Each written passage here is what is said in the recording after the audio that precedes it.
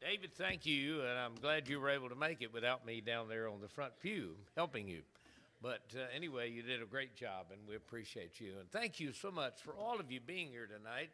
And, uh, you know, I mentioned this morning that our attendance was down today, but we already have people that are gone on vacations and summer trips, and we certainly uh, uh, do miss all of those and all of you when you're gone. But uh, it's great to have you tonight, and we appreciate all of you being here.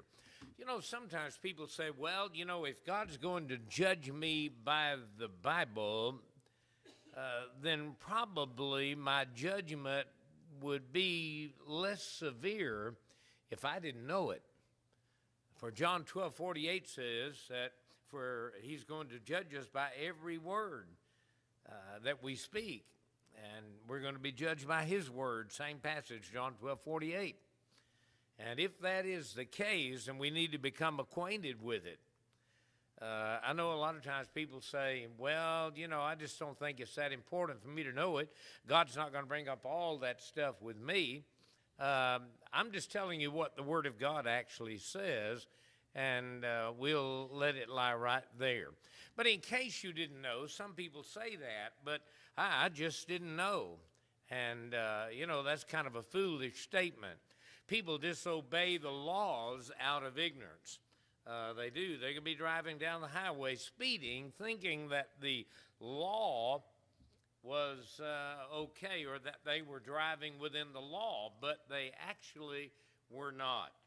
Uh, there are a lot of things that can be said, actually, about disobedience to the law.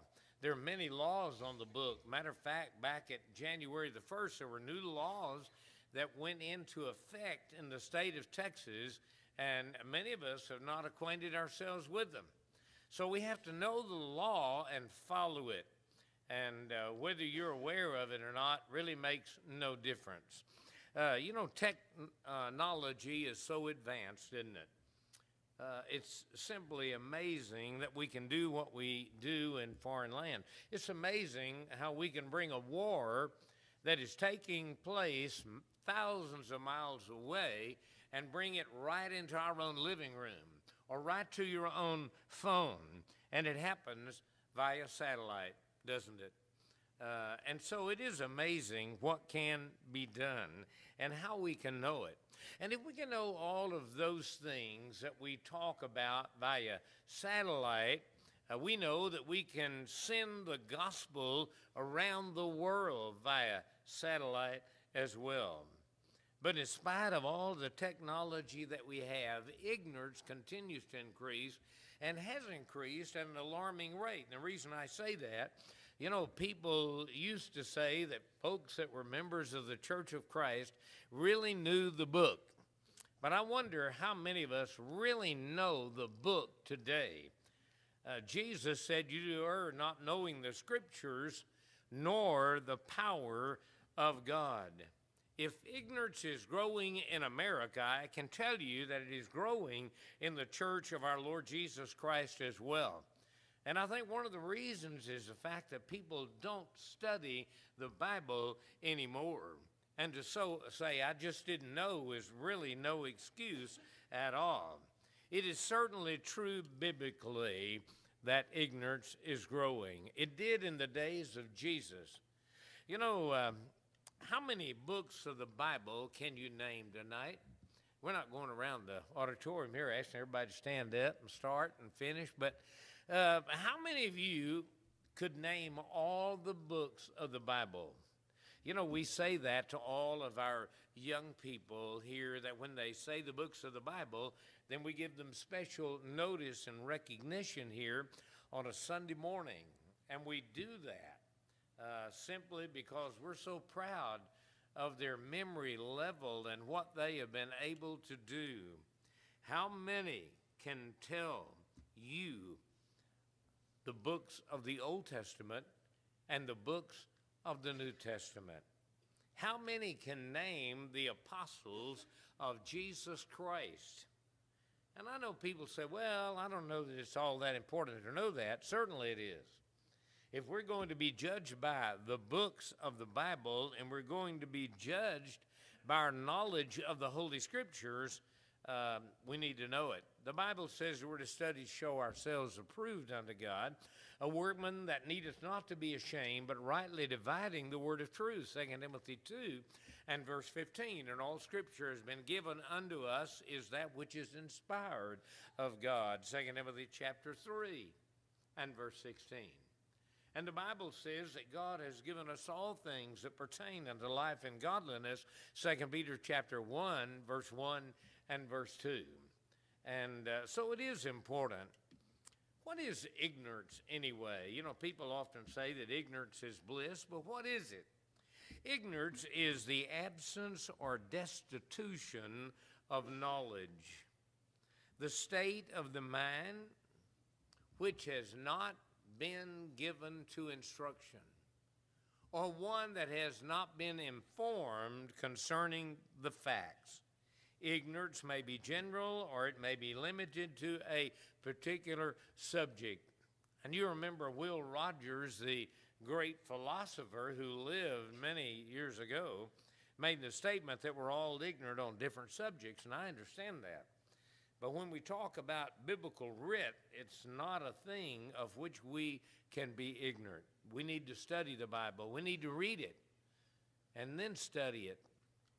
Avail ourselves to the information that is there. The most violent element of our society is it is true it is ignorance. it is. Always has been. In Acts chapter 4 and verse 13, the Bible tells us that the authorities of the day of Peter and John perceived that they were ignorant and unlearned men, but they took note that they were with Jesus. Now, they may have not been as schooled in the rabbinical schools of theology, but they were inspired by the Holy Spirit. The Holy Spirit inspired them with the Word of God, and they did write. Peter would later write in that book of Second Peter, chapter 1, that our prophecy came not in old time by the will of man, but holy men of God spake as they were inspired by the Holy Spirit. So the scripture says. There's actually two kinds of ignorance when you really stop to analyze that word. There is what we call intentional ignorance, and, and this is a big one, and then unintentional ignorance. Let me explain the difference. Intentional ignorance is that which a lot of people are guilty because they know they ought to be reading the Word of God. They know they ought to have it in their heart. David said, Your word have I hid in my heart, that I might not sin against thee. We need to put the Word of God in our heart. And when we intentionally reject that and don't do it, then it is a violation of God's law. It's a sin. Romans 3.23. But then there is unintentional sin. You didn't intend to sin, but you just simply did it not knowing the Word of God. But see, if you knew the Word, then you wouldn't be guilty of unintentional sin. But they're both wrong. They are darkened in their mind, Ephesians 4 and 18 says, of some they were alienated from the life of God because of the ignorance that is in them due to the hardness of their heart. Now, he's not talking about being ignorant intellectually of maybe what was going on uh, during the days or what the mores were of society or things of that nature, but they were ignorant of the most important things and that was the Holy Scripture. You know, it's always astounded me that sometimes people can quote the Scripture that they don't know. uh, I mean, honestly, they give you all kind of statements and say, well, you know, the Bible says, when the Bible doesn't say what they're saying at all. But secondly, what does God say about ignorance? And this is really, really important. In the book of Acts 17, Paul, uh, the apostle, had gone to Athens, Greece. And when he stood there in that Grecian city, here's what happened Paul walked through Athens. I had a sister that lived in Athens, Greece for actually about three years. And uh, she told me a lot of the customs uh, of the Athenians. And one of them was is that they didn't believe in a divine God like Jehovah God. They believed in a multiplicity of gods. And uh, they had even built monuments to them, to every one of them. And when Paul was making his way through Athens, he saw all these gods or these monuments, and then he saw one that said, To the unknown God. And he rebukes the Athenians and he says, Him you ignorantly worship. But then he goes on to say, In the times of this ignorance, God winked at or blinked. Have you ever wondered what that really meant? In the times of ignorance, God winked at, but now he commandeth all men everywhere to repent. Well, let's, let's go back just a little bit in that chapter. Paul acknowledges this and says, For as I passed by and beheld your devotions, I found an altar with this inscription to the unknown God. Whom, and then he says, Whom therefore ye ignorantly worship, him I declare unto you. They were ignorantly worshiping. But then Paul goes on to say, Because he hath appointed a day in which he's going to judge the world in righteousness by that man whom he hath ordained, he says, whereof he hath given him assurance and to all men, in that he hath raised him from the dead. Now, when you know, and I've read that passage a lot of times. Maybe you have too in Acts chapter 17 about God blinking. What did that really mean? Well, I tried to go back in the Bible and find places maybe where God actually blinked at sin and let it go. Well, over in the book of Numbers 15 28, Moses writes these words, and he begins to talk about the priest, and he says, And the priest shall make an atonement for the soul that sinneth ignorantly when he sinneth by ignorance before the Lord to make an atonement for him, and it shall be forgiven him. That's the only passage I could find in the Bible that tells me that God actually blinked. But that is really what it's saying. But Paul is saying also that God doesn't blink anymore. in the times of that ignorance, God blinked at. But now he commands all men everywhere to repent. Here's a passage I used this morning in my lesson. I'd like to use it again tonight, 2 Thessalonians 1, verse 7 through 9. Paul says, And you who are troubled, rest with us.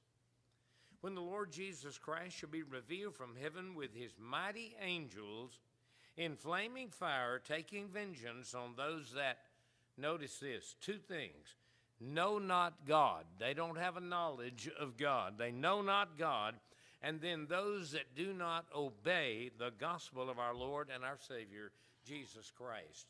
Now get this picture. You cannot obey what you do not know. Think about that.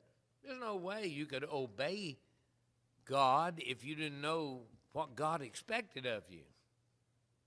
He's going to take vengeance on those that know not God and those that don't obey the gospel.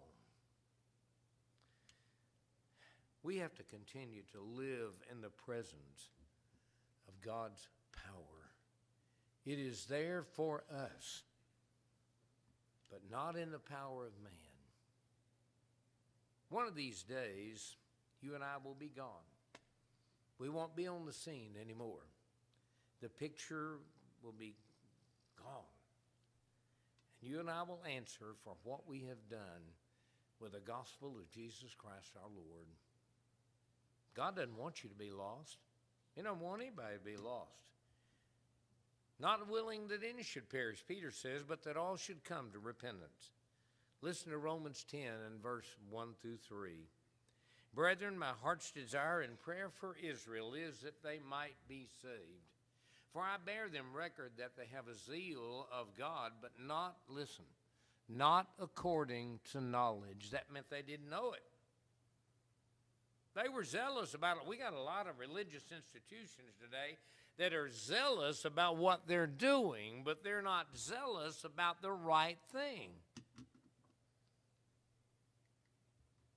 For they, listen to what he says, a continuation he says, For they being ignorant of God's righteousness and going about to establish their, their own righteousness, they have not submitted themselves unto the righteousness of God, and they are therefore accountable. Don't we have a lot of people today that are going about trying to establish their own righteousness? We got people that disconnect from the church and disconnect from God and say, I have my own God and I'll do my own thing and God's going to be merciful to me in the day of judgment. Is He? Is that what God said or is that what you think? There is no excuse for a person's lack of biblical knowledge.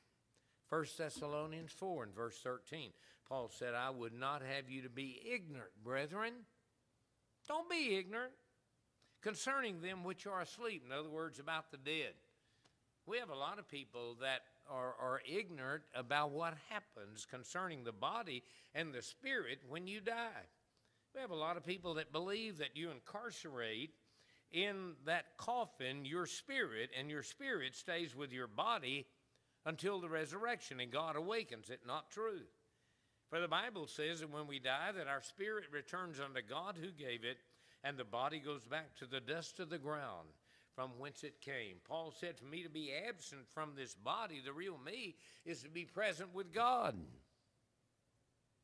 But we got a lot of people that are ignorant of that. We got a lot of people that are ignorant about life and death itself.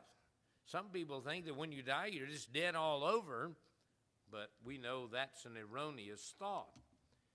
Even in the Old Testament, God's prophet points out the fact that uh, there were so many people in Hosea's day that were ignorant of God's law. And God says, Hear the word of the Lord, you children of Israel, for the Lord hath a controversy with the inhabitants of the land. Listen to what he says. Because there is no truth, nor mercy, nor knowledge of God in the land. We talk about the internet being the information highway, and it really, really is. But I dare say sometimes people are more concerned about the upcoming election than the elect of God, and that's Christians. Now, I'm not negating or saying that we shouldn't be concerned about the upcoming election. I believe that we all ought to be. And we all ought to vote. That's a God given opportunity for us to let our voice be heard. But at the same time, we need to know about the elect of God, and that's Christians. That's what he's talking about. And the Bible says that the days of this life will be shortened for the elect's sake. My people are destroyed, he says. Hosea continues. For a lack of knowledge, because thou hast rejected knowledge, I will also reject thee that thou shalt have no priest, or be no priest to me. Now, isn't that something? Because we talked about the priests back in the book of Numbers, remember, where God forgave them because they committed what they called sins of ignorance. Seeing thou hast forgotten the law of thy God, it will also forget thy children and the promises that I made to you. Well, what if we choose to be ignorant? You pay the price. I, I uh, heard today, and I saw this on television, and I suppose it's true. They were saying that uh, actually there are less people going to universities after high school, less now than ever before in our history. And you know what? That tells me that people don't want to study. It tells me that people don't want to learn. Just keep me ignorant and I'll be happy. But that's not true. That's not saying everybody has to go to college either. I'm not saying that. But I'm, what I'm saying statistically, if those numbers are down, that tells us a lot about this country, doesn't it? And when we had to shut down for COVID, remember that? For about two years, and our young people had to go to school virtually, we lost a group of young people intellectually because that happened. And that's why, as we as elders said, we would never shut this church down again. And it won't happen. Ignorance, hey, the price is not right. It's not. People pay a high price for their ignorance. And the price that we think we're going to pay is much less in their eyes, but not in the eyes of God. Ignorance is not bliss. Ignorance is poverty. Ignorance is devastation. Ignorance is tragedy. Ignorance is illness. And it all stems. All the problems stem from ignorance. You know, if you're sick, and I'm going to tell you, folks, I'll be honest with you. I called my friend who's a doctor and asked him to call in something. Well, I realized something was going wrong. I needed medication. I didn't just blow it off and say, well, it'll get better in time. That's what a lot of people do. But it doesn't. You need the medication. And you know what? We need a prescription from the great physician, who is Jesus.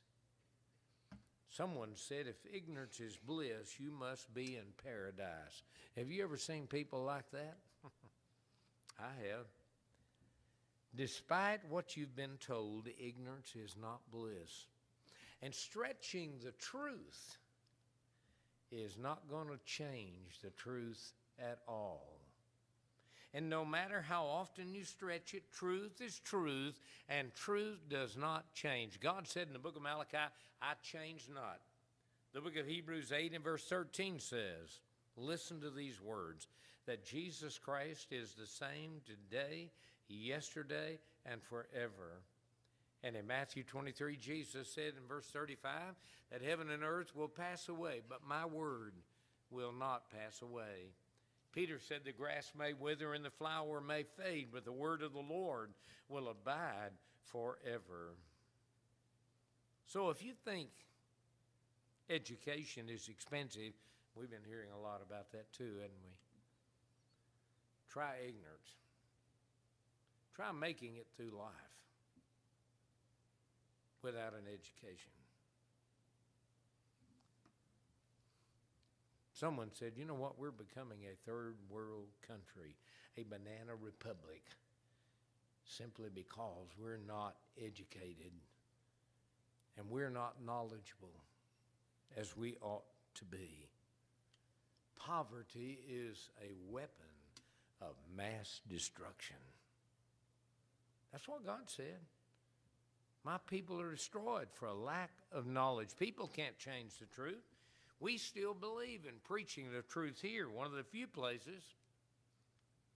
And I'm not patting myself on the back. I'm not trying to be egotistical in saying that. We still believe in preaching the truth, for Jesus said, You'll know the truth, and the truth shall make you free. Our young people take what we call the STAAR test, or the State of Texas Assessments of Academic Readiness. That's what it is. And our schools spend more time every year making sure that they spend adequate time to make sure that they pass the STAAR test instead of really teaching them the fundamentals and the things that they ought to be teaching them in public education.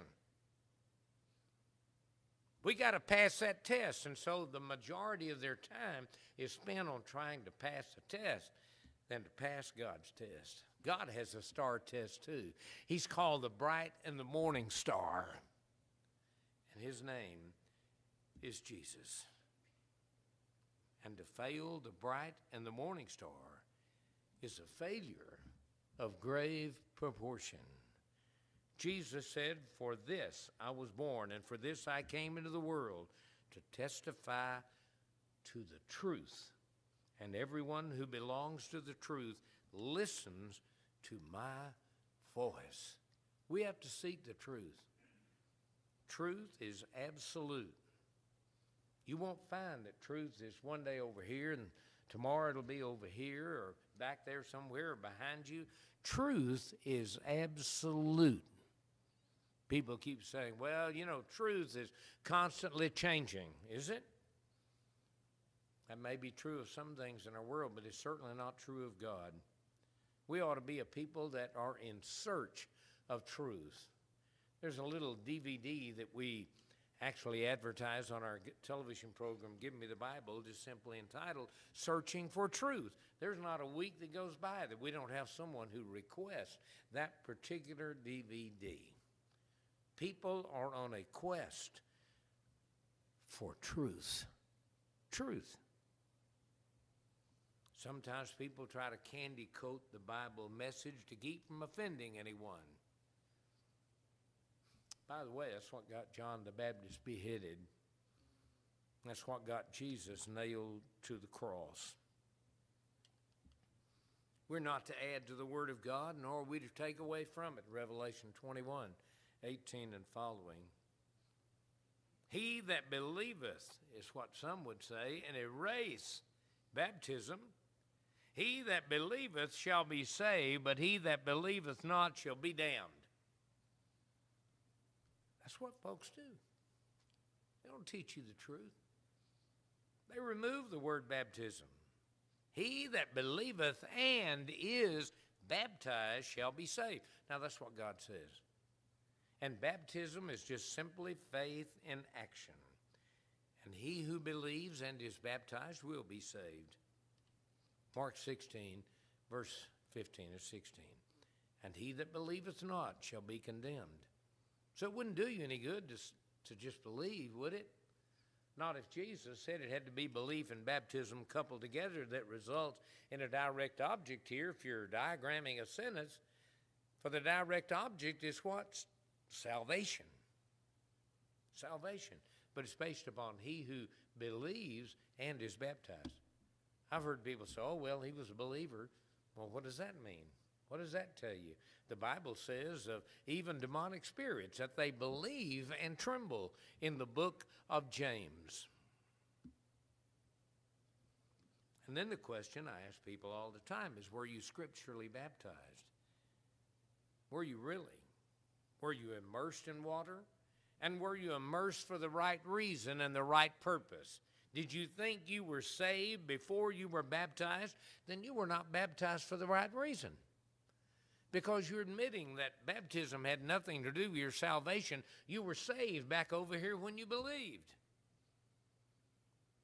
People ask the question, well, what about the thief on the cross? well, if you study the Word of God, do you know about the thief on the cross. He said, Father, remember me when you come into your kingdom. And do you know that Jesus lived and died right along with the thief on the cross under the old law that did not require baptism. Did you know that? The old law didn't require baptism. That's why the thief on the cross didn't have to be baptized. But isn't it interesting, following all of that, after his crucifixion, when they went into the world and they proclaimed the gospel, they proclaimed this message that Jesus gave He that believeth and is baptized shall be saved. Why? They lived under a new law. It was called the law of Jesus. As I said this morning, someday you will appear before God. Will you pass the STAR test? Will you? I hope you all paid your taxes this year.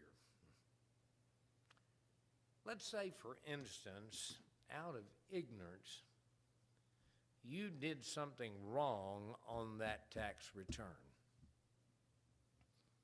And you have to file an amended return.